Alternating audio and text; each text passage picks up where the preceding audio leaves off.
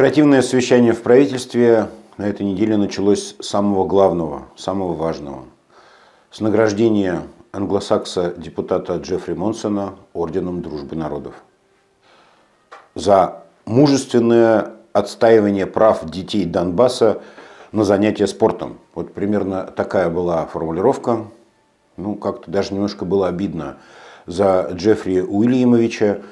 А, почему-то в этот раз Хабиров зажал столь щедро раздаваемый всем подряд орден а, Шеймуратова и выдал Джеффри Уильямовичу только лишь орден Дружбы народов и то регионального значения. Но а, Джеффри Уильямович был рад и этой побрякушке.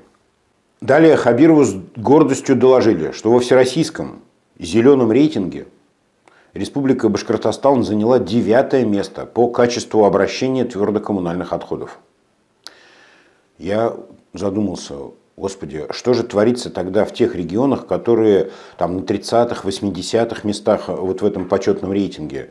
Там вообще коллапс. Или просто их губернаторы э, в этот раз пожадничали и не купили себе э, место повыше в этом рейтинге. Ведь э, на почетное место в числе 10 лучших э, регионов э, в Российской Федерации не повлияло, например, даже то, что у миллионной Уфы, по сути, нет легитимного законного мусорного полигона. То, что в Черкасах давно уже выработало свой ресурс, и там какие-то Филькины грамоты продления э, права на эксплуатацию. То, что, например, в Бирске мусор из города вывозят в соседние леса и там бросают, это тоже никак на этот рейтинг не повлияло. Ну, как говорится, рейтинги наше все.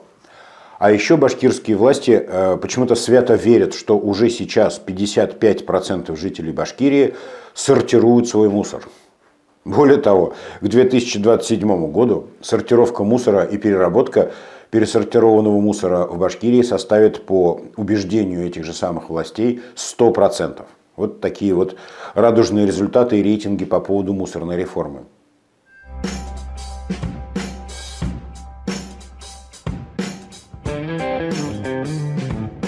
Напоминаем вам о необходимости помогать нашему каналу.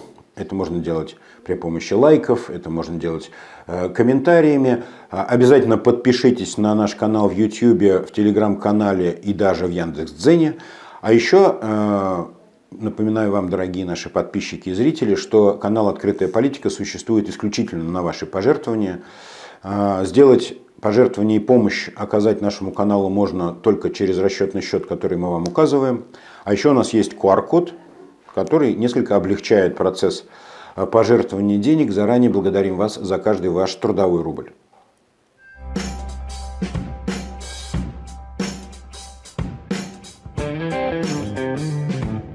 В этот раз решили не игнорировать оперативную ситуацию э, в регионе и заслушали министров по порядку. Ирина Голованова изо всех сил старалась э, придать радужность своему докладу, а Хабиров очень старался ей верить, отгоняя мрачные мысли и отвергая всякие грязные слухи, распространяемые лжецами и негодяями. А Голованова тщательно подбирала слова и термины, так, чтобы тревожные факты казались ну, какими-то незначительными случайностями. Например, взрыв котельной в Аскинском районе был назван разрушением котла.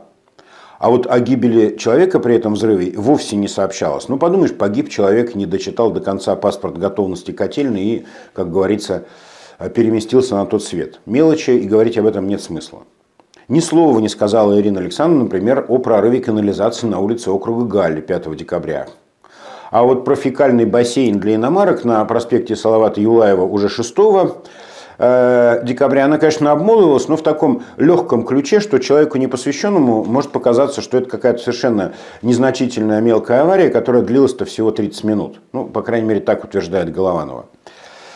Ну, Хабиров или правда ей поверил, или умело сделал вид, что он ей верит. Ну, как-то вот понравилась ему такая постановка вопроса, такие формулировки. Ну, подумаешь, что-то где-то там чуть-чуть э, надорвалось, э, чуть-чуть, значит, там котел какой-то треснул, не беда.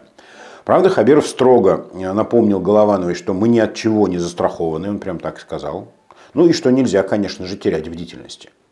Министр транспорта и дорожного строительства традиционно ничего не говорил про дороги, э, сообщил, что э, Количество ДТП в Республике Башкортостан упорно превышает э, показатель прошлого года, но зато количество погибших вот в этих ДТП на 25 человек меньше, чем в прошлом году за тот же период. Ну и, суть по всему, благодаря э, чрезвычайным э, феноменальным способностям господина Клебанова к арифметике, к умению вычеркнуть там не, св- не свои жертвы из списка этих погибших. Ну вот не знаю, что происходит, но количество ДТП растет, количество погибших в них э, падает, опровергая всякие законы математики, логики и пропорций.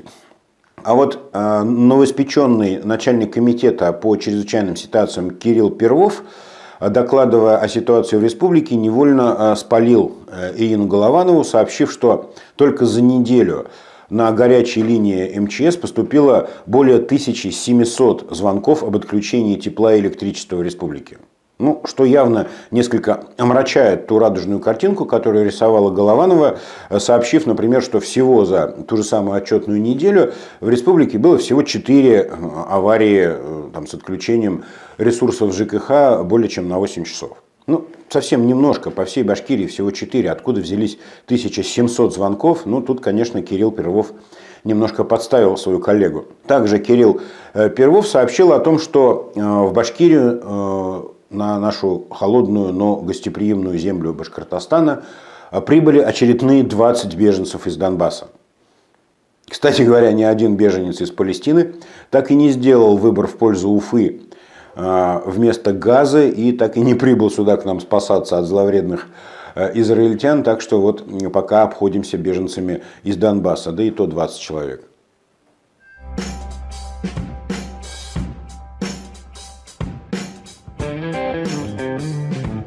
Вы не поверите, но дальше речь зашла опять о подготовке к Новому году. Напомню, ровно половину предыдущей оперативки э, команда Х и Хабиров потратили на обсуждение вопроса готовности к Новому году. И теперь снова начали обсуждать этот же вопрос. Слушая, с какой тревогой Хабиров говорит о важности подготовки народного хозяйства к празднованию прихода очередной календарной даты, я понял, что Ради Фаритович э, от чего-то очень боится этих новогодних э, каникул. Он, во-первых, настрого запретил своим подчиненным устраивать разухабистые корпоративы с блэкджеком и шлюхами, э, там, с горами угощений, как он выразился, за бюджетный счет.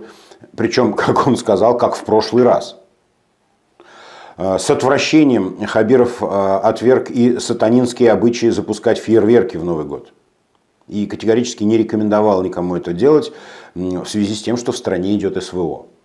Там, связь, конечно, прямо скажем, не прямая между э, этими причинами и следствиями, но надо отметить, что прозорливый Мавлиев отказался от салюта еще на прошлой неделе. Ну да бог с ним, с салютом. Ну а потом Министры здравоохранения, ЖКХ, транспорта и даже экологии хором стали уверять э, встревоженного губернатора, что все будет хорошо.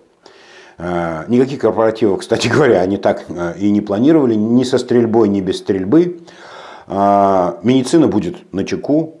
В любой момент медицина окажет помощь отравившимся салатом оливье в любой точке Республики Башкортостан. По всем городам в новогодние каникулы будут дежурить трезвые и отзывчивые труженики коммунальной сферы, в любой момент готовые э, убрать снег, мусор, перевести старушку через улицу. Ну, в общем, Голованова там заливалась соловьем. Все, говорит Ради Фаритович, будет тип-топ. Немного подкачал Клебанов опять. Ну, не подумав, видимо, что может огорчить э, встревоженного и впечатлительного башлыка, Александр Владимирович ляпнул, что в каникулы транспорт будет ходить по сокращенному графику, а вот после 20.00 и вовсе ходить не будет все эти 10 дней. Ну, Хабиров на такую ерунду даже внимания не стал обращать, явно встревоженный какими-то более страшными, ну, какими-то, пожалуй, что мистическими последствиями Нового года, которые его подсознательно угнетают. Выслушав министров, Хабиров мрачно подытожил. Дескать, будем считать, что к Новому году подготовились. А как оно будет на самом деле, судьба нам покажет через 2-3 недели. Как-то мрачно так резюмировал Хабиров. То есть он что-то от судьбы такое нехорошее ждет. Я так и не понял, э, что гнетет э, дорогого Радия Фаритовича. Может быть, он плохо себя вел э, в этом уходящем году.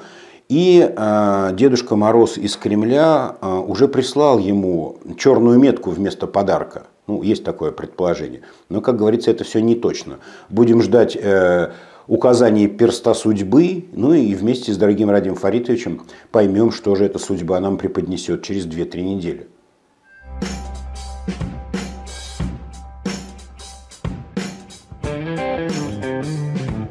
Под конец оперативного совещания заслушали доклад э, директрисы Комитета по делам ЮНЕСКО Республики Башкортостан. Ну, я тоже не знал, как и вы, наверное, что у нас есть такое ведомство, оказывается, оно в Башкирии есть, и руководит им некая Илина Гатаулина. К моему удивлению, из доклада э, фрау Гатаулиной стало понятно, что Башкортостан не просто активно сотрудничает с одной из самых именитых англосаксонских международных организаций, действующей э, по всему миру под прикрытием ООН, но и то, что организация ЮНЕСКО, имеющая, кстати говоря, штаб-квартиру в богомерзком и развращенном э, до нельзя абортами Париже, так вот эта организация раскинула в Башкортостане целую сеть влияния и внедрения. А, Причем а, внедрение неутвержденных до сих пор РПЦ идей и принципов. Вот в чем вся опасность. Это самая а, United National Education Scientific and э, Cultural Organization, так оно называется на самом деле, уже ассоциировалась с 39 школами Башкортостана. Организовала 19 клубов бездуховности и даже имеет две кафедры в учебных заведениях.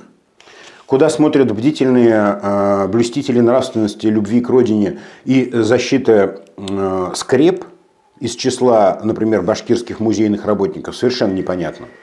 Ведь это самая ЮНЕСКО под предводительством, страшно сказать, немца Микаэля Верпса и француженки Одри Азуля, того и гляди, внесет в свой богомерзкий список всемирного наследия наш с вами родной Шульганташ, Шиханы и Янгантау. Тогда все, пиши пропало. Из этого списка, как известно, обратного пути в православие нет – завершила свой доклад э, Фройлен Гатаулина и вовсе предложением создать очередной э, геопарк, теперь уже в Белорецком районе, да еще и на внебюджетные деньги. Тут напрашивается вопрос. У добросовестных и честных россиян денег на геопарке нет. На чьи же деньги собирается устраивать там геопарк э, Фройлен Гатаулина? Уж не на деньги ли Ротшильдов или, не дай бог, каких-нибудь прочих богомерзких миллиардеров из-за рубежа? Не знаю. Но надо отдать должное Хабирову. Он очень вовремя распознал, э, как далеко э, просунулись вот эти франко-нормандские щупальца э, ЮНЕСКО и бдительный хранитель башкирских богатств природы Ради Фаритович весьма уклончиво ответил мадемуазель Гатаулиной, дескать, надо бы нам еще разобраться, Куда нам этот э, геопарк, как говорится, впился, зачем он нам нужен и что мы с этого будем иметь? Молодец Хабиров. Вовремя понял, что геопарков насоздавалось уже тьма тьмущая, толку никакого. Браконьерство и добыча полезных ископаемых там так и продолжались, как и раньше, а геопарки, они только именуются геопарками. В общем, пресек инициативу франко-нормандской организации э, Хабиров. Ну, от греха подальше на этом решили оперативку и завершить.